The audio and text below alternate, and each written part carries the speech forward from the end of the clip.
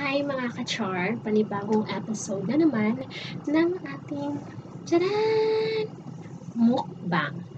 At ngayong gabing ito ay magkahatpat tayo guys. Kaya na nakikita nyo ngayon sa aking harapan, may mga gulay tayo. Fresh na fresh. Bili to ni Carlo kanina kasi day niya. So may time siya to eat dinner with me. At yun ay ang hot pot. Itong hot pot is famous siya dito sa Macau. Um, at dahil medyo malamig pa dito sa Macau, so saktong-sakto nito para sa weather. So, ayun, i-introduce na natin ang ating mga iba't ibang uri ng gulay na mayroon tayo ngayon para sa ating hot pot. So, bumili si Carlo ng fresh broccoli. Yan, broccoli. Ang dami nating broccoli. Meron tayong sprout. Yan. Dami. Tapos, cabbage. Yun din sa isang rice cooker. Ligayan to. And then, hindi ko sure kung anong tawag nito sa gulay na to. Hindi ko siya sure. Madami. Sarap siya. Fairness. Kung alam nyo guys anong tawag dito, comment down below. Thank you. At dito na si Carl.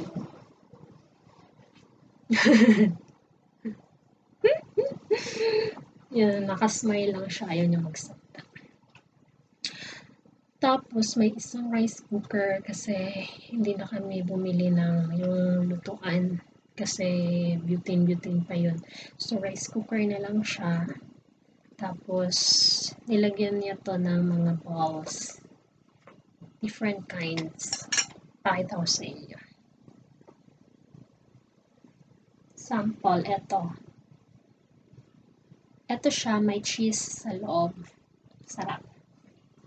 Tapos, yung crab, crab yung ano niya, pag natikman nyo, ito, seafood. Then, of course, ang paborito ni Carlo, siomay. Tada! Dinamihan niya yung siomay niya. Tapos, ito ang paborito ko. Cheese sausage. Sausage. Nakulo na pala. Oh, nakulo na. Ay, okay nga lang magsalita ka ng... Gulay nga, lagyan mo.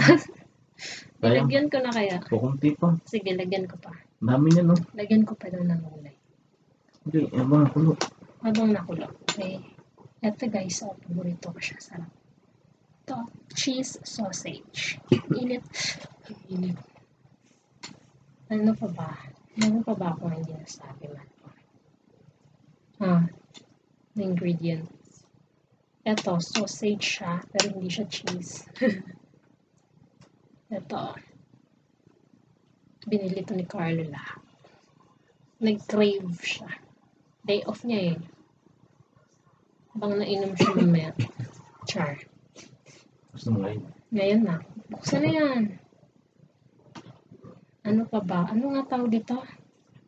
Tuwalya. Tuwalya. Known to sa ano, sa Macau. Famous siya. Hindi Sobrang ako sarap. bibili. Isa lang, hindi ako nakabili. Hindi daw ako nakabili ng tubig. Kalimutan ko, excited na ako. Ano, eh.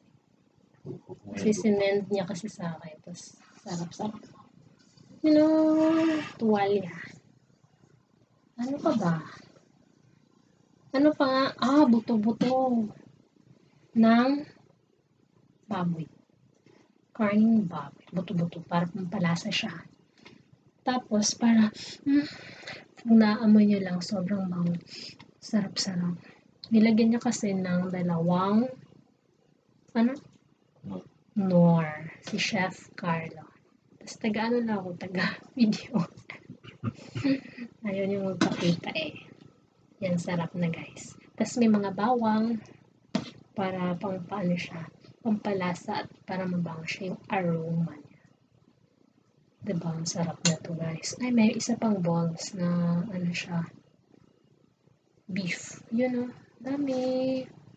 Pwede na namin kainin. Ayun. Yan pa ang meron pa kami extra kung ano siya magkulang man. Diba? Ito. Ano? Ang dami. Balls. Babalik natin sa chef. Chef. Ako ka. Tapos may sa sausawan. Wait lang. Kukunin ko yung sausawan. Ano nilagay mo sa sausawan? Ha? Lemon. Ano pa? Toyo. Toyo. Ano pa? Tsaka suka. Ah, wala. Ah, lemon lang pala. Tapos may dalawang sili. OMG. Masarap kasi yung hot pot pag medyo mga uh, kaya nilagyan na nalagyan namin mamaya ng sili. Pakuluin mo na siya ng mga ilang minutes pa.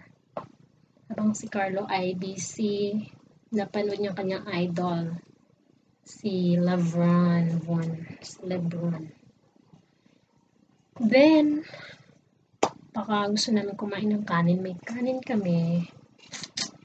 Kasi you know mga Pinoy gusto ng kanin. Hintayin natin siya. Excited na ako. Hmm bango hmm pang ano din siya facial. Hmm parang nasa sauna bango eh Basta naman ang inyong araw. Alam niyo guys, um, nag-start ako mag-vlog. Kula lang, trip-trip ko lang. Um, last year, last year, um, ano nga, April. Pero, hindi talaga uso yung ano ko, subscribers. Nasa 18 pa lang siya. As in, wala lang. Diba? At least may 18 na nanonood sa akin, na sumusubaybay. Mmm, ang sarap. Super perfect.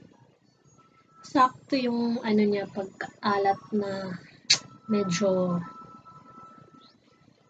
ah, nanonood yung sarap ng norm.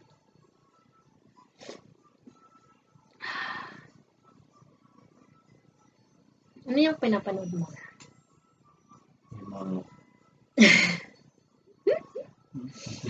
Ayaw niyang magpakita talaga. Tunay ba to? Ano. Pero kung gusto niyo magpakita si Carlo, comment niyo lang kung anong gusto niyo gawin niya. Para may participation naman siya sa vlog. Diba? Tapos, raw video lang to. Hindi ko siya i-edit. Para normal lang. Documentation, ganun. Ah, Pwede na to. Ha? Pwede na to. O, sige. Kakain mo na ako. Testing natin na. Tasting. Para sa yung lahat. Kasi gusto niya ipapatay yung vlog. Ayun niya. Para ma-enjoy daw niya yung pagkain. So, para sa inyo, ito try natin. No? Kuha tayo ng isa-isa. Itong crab roll. Yan. Tapos, yung beef. Beef balls. Tapos, yung may cheese.